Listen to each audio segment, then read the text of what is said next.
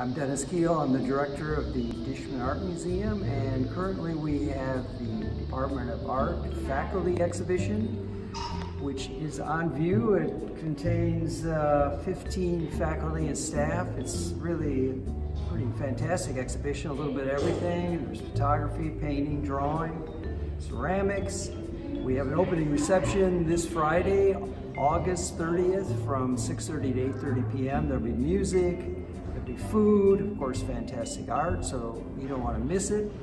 And right now we actually have one of the artists, uh, the drawing instructor here, Christopher Troutman, who is responsible for the, I would say, the largest work. Maybe Kurt uh, Dyrhaug sculpture might be a little taller than Chris's drawings, but um, you know, that's it's anyone's guess. All right, so Chris, you want to talk about your work a little bit? Um, sure. These drawings are from a recent series that uh, are about combining different materials. Uh, half of it is drawn digitally, uh, either on Procreate, on an iPad, or on Photoshop on a Mac. And after that, I printed printed the image and over the top I used uh, ink and charcoal and other materials. So just trying to get a feel for how to use uh, this digital media so I can actually start so I can start introducing that into classes, into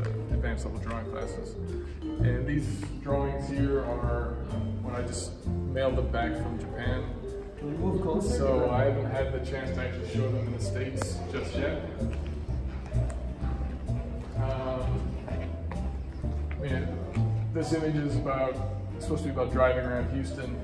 I really don't like driving around Houston. This is supposed to be supposed to be uh, imagery from Japan. You know, the kind of uh, mountainous cityscape, and this actually combines both settings together.